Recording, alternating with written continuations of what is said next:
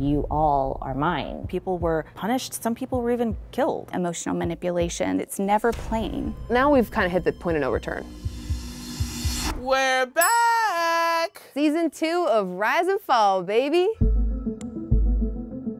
Sex, shootouts, mind control, alien motherships? That's so scary. I just couldn't imagine. It just became a fear game. David Koresh, The sinful messiah. That was the last time I saw both my parents. Heaven's Gate. There's this ominous presence or God that is watching you. It was a very, very difficult life. Children of God. As women, you couldn't really refuse to have sex. Do we think that Shoko Asahara was a psychopath? I think so, yes. The gravity of it is just, it's like too much. Are y'all ready to get culty? Again. Join us.